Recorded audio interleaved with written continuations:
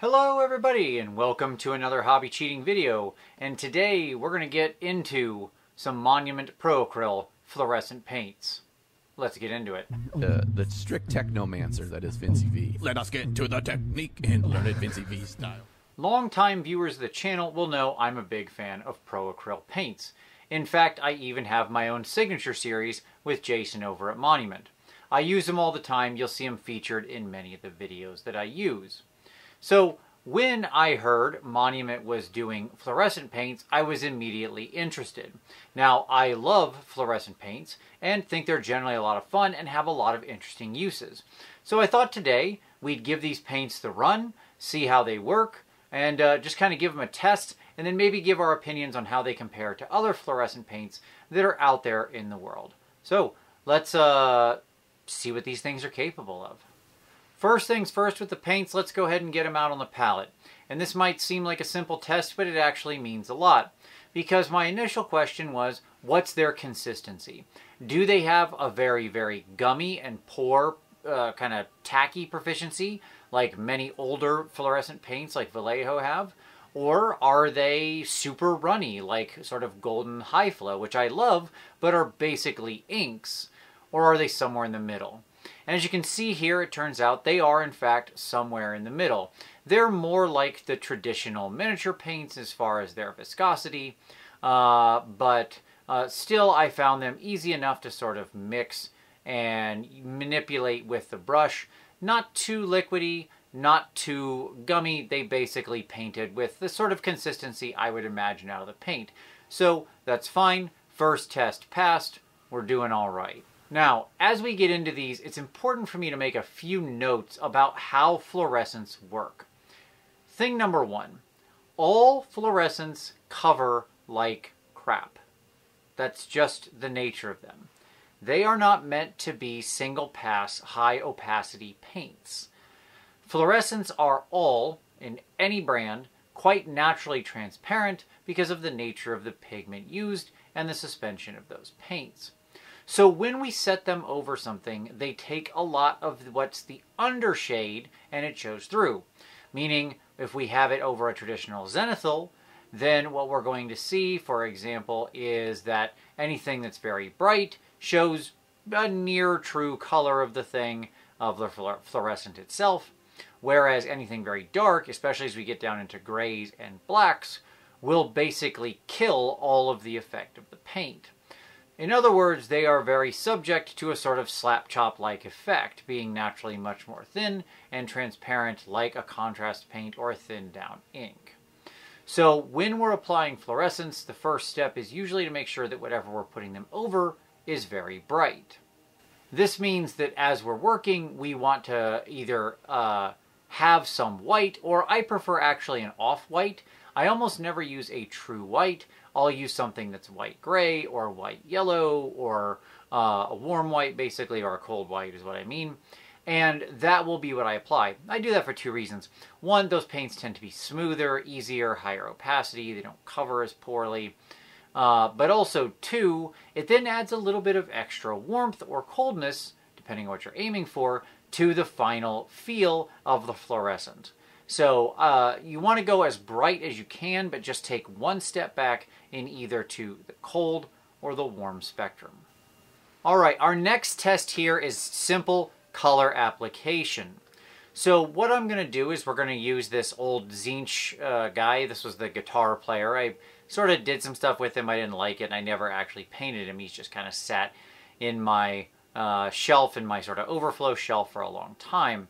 But he's perfect because he's primed very, very brightly, uh, and so he'll give us an interesting test of the paints. Uh, so I moved through them, and what I saw is that they are, in fact, as I expected, very transparent and showed a lot of the color underneath. I did find, actually, that the way these paints work, they were good to sort of take, work into your moist brush. I didn't thin them at all with water, so I just used a moist brush and basically kind of uh, got the moisture out of my brush into the paint on the palette, and then started applying them. And what I saw is that it was best when I smoothed the paint on the model. So what I mean by that is because of their thickness, uh, but their staining power, I saw that what I actually liked was to apply them somewhat thickly and then just actually smooth and thin on the model, meaning I'm constantly pushing it around, smoothing it out, spreading the paint while it's on the actual model itself. I found this basically gave me the best results and a nice even coat. I will say, however, it did take two applications of this to really get a true color, and that's usually the case with fluorescents. Um, I don't know that there's any fluorescent out there I've ever utilized where I put one application of it onto a model and thought, yep, nailed it, that's perfect. Fluorescents, because of their highly transparent nature, usually need multiple applications, and that was the case here as well. I will say, as I got the second coat onto each of these colors, uh, I did like them quite a bit. Uh, of particular note, the orange is really, really, really super intense, as is the pink. These are both fluorescent colors I favor for different reasons. Uh, the pink because it works excellent uh, for just cool stuff like Slaanesh I like to paint. Everybody, I hope you know how much I love pink. But also, uh, as you're going to see later, you can do some really awesome things with fluorescent pink. Uh, orange fluorescent orange is just really great for stuff like doing firelight and any sort of glowing orange torch. All those similar OSL effects, that glowing orange really works. A note here, though, is that the yellow is very um, sort of green tinted. Uh, it's almost a chartreuse. It's pushing in that direction. Uh, but it's overall a nice enough color. Uh, it would work well to undershade other things, and we'll talk about that in just a moment. Uh, the purple I found to be sort of the least interesting fluorescent. It was a nice purple, but it didn't really do much for me as far as brightness or intensity. Okay, our next test is to get this thing over some pure white. So now we're back to our Skaven friend here. Uh, love these little acolytes. I've had them for years and years, and they always end up showing up in videos. Uh, our little acolyte, I started by basically base coating all of the areas that I wanted to use the fluorescent on in white or some amount of white. You'll see I left the orb that he's holding. The orbs not completely. I did a more traditional spherical highlight on them. Uh, and then I applied the colors. Here, I really liked the effects. When we're going over an intense, well-applied white, I found that this actually gave some pretty awesome results. Um, they were bright, they were really strong, those colors punched, and honestly, they jump out from, you know, the from many feet away. Uh, again, I did do two applications of these colors on all of the relevant sections, and I found that they looked really good. Um, of particular note, again, I really liked the look of the orange goggles with a little yellow dot. I thought that came out really nicely. And the green uh, was actually perfect for Warpstone, so I don't know if that was Jason's intent, but certainly that green color is like perfect Skaven Warpstone green, excellent for use in uh, radioactive rocks, I guess, of all types. So sci-fi or fantasy, if you're doing anything that's like radioactive or magic read energy, I think this is actually a wonderful color for that. And I was really happy with the finish and how that uh, all came out. So again, so far, uh, excellent performance. Our next test is basically layering these colors over the top of each other. How well do they work together? This is a simpler test. And in fact, I found this worked just fine. So whether it was the green going over the yellow on the edge of the blade, which gave a nice sort of transition as I brought that thin green to one end, or whether it was a little bit of yellow laying down on top of the green to add the kind of sickly yellow punch to the top of the uh, green ball, I found it was fine. I did some additional testing off camera, mixing together the colors in different ways, and honestly, uh, no complaints. They all work together quite well and can actually serve to punch each other up as you intermingle them. Don't feel with fluorescents like you have to stick with just the color that's on the bottle. You can add the yellow to the orange to produce something more interesting, or the pink to the red, or the orange to the red, and so on and so forth, and get more intense versions without suppressing the color of the individual fluorescent. Speaking of tips and tricks, let's talk about a few that I love actually using these colors for. Uh, now, this is normally things I would do with fluorescent paints. So the question was, can I use these fluorescent paints for these common tasks I end up using them for? And step one was fun glowing red eyes. Uh, this is pretty easy. You take a model, you put a nice white uh, sort of dot in the center of the eye while leaving the recesses around, uh, you know, dark, and then you take a little bit of the something like a fluorescent red or pink or orange or whatever color you want the glowing eye to be, and in this case, you thin it down some and run it there. So it gathers around the edge of the orb, but the center of the orb is still rather intense in the most white part. You can even spread it out onto the skin to give a bit of a glow effect. So it actually feels like there's a very soft emanation. And here, this came out really well. I like the way that the glowing eyes looked on the guy. Passed, no problem. But eyes, you might think, well, that's a simple test, Vince. What have you got that's more complicated? So this next one is a little more complicated. Let's talk about how you get really intense saturated colors. If you've ever wanted to have a really bright, intense, kicking red, or a really, uh, you know, bright blue, or something like that, right? So that's your goal. You want the most intense version of that color possible. Okay, then in that case, uh, as you can see here, I was working with a red cloak. Now I did this in bold pyrrole red. This is already a single pigment uh, pyrrole uh, pigmented red, which is one of the most intense red pigments there is. I love this red color from Monument. It is a wonderful red. I use it all the time. However, I wanted to punch it up even more. And so what I did was I applied some white paint over the top of the areas I wanted highlighted. Now, I know this is gonna, you're gonna think, oh my God, what have you done? That cloak looks smooth, it was fine, it looked great. Why are you trying to change it? Well, because we're gonna make it even more red.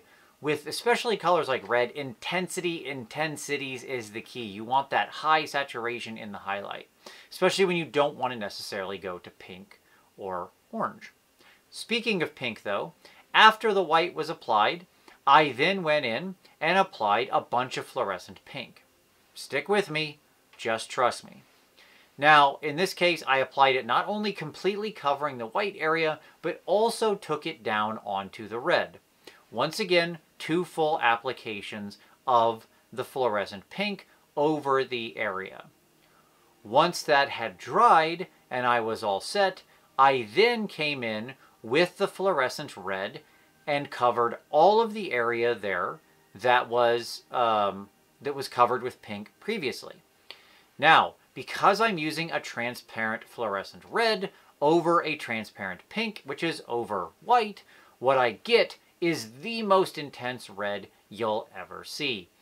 This is the way that you can get that like really punchy final color for your highlights. So if you want your like Space Marine captain to have the most intense cloak, this is honestly a really fast process. This took like another, I don't know, three minutes on the model. And yet, uh, now this red is so kicking. Looking at these two things side by side, you can see how much more intense the red is after the application of the fluorescence. If I had just tried to put pink itself over the red, I wouldn't get that pure punch effect. By the way, you can do this all with an airbrush. Um, I did try these through the airbrush as well. All went no problem. So what's the final thoughts on these? Honestly, I think that Jason and Monument did a great job with these. I really like them. Um, they'll be fluorescents I use. They're interesting because uh, intensity, color, and sort of the ease of use, I found them very much on par with Golden High Flow, which I consider the best fluorescents on the market. Um, now, one of the differences with Golden High Flow is they are much more uh, ink-like, and so I do find that an advantage. I think through my airbrush and stuff like that, I still very much prefer the golden paints, to be honest. The fact that they're just so already liquidy and they flow through the airbrush no problem, uh, I've never had a clog or an issue with them. Just makes it more of an appropriate tool for an appropriate job. That being said, with the brushwork, I think these are extremely competitive. Uh, I liked the fact that I could work with the thicker paint and then smooth it out on the model, something that you can't really do with the much thinner high flows. So legitimately here I think this is a case of hammer, nail, screw, screwdriver, right? You get the appropriate tool out for the appropriate job. And I think these will find a place in my rotation for when I want to do, you know, fire and warpstone and glow and intense highlight colors like you saw here. So all in all, definitely a great uh, review from me. I think these are very much worth picking up. I'm going to be using them. Uh, so I hope you liked this video. Hey, if you did, why not give it a like? Uh, subscribe if you want to see more hobby cheating in the future. Don't forget, we've got new videos here every Saturday. Uh, if you want to support the channel, there's lots of ways you can do so. You can share this video with somebody. That's always deeply appreciated. There's also a link down in the description specifically for Monument. Um, you can get some uh, savings and also the channel gets uh, a little bit of a kickback without costing you any extra money. There's also links down there to do the same with Amazon, uh, our merch store, and of course if you really want to support the channel, well, there's a Patreon link down there. Uh, that Patreon is focused on review and feedback and taking your next step on your hobby journey. We'd love to have you as part of the community. As always, though, I thank you so much for watching this one, and we'll see you next time.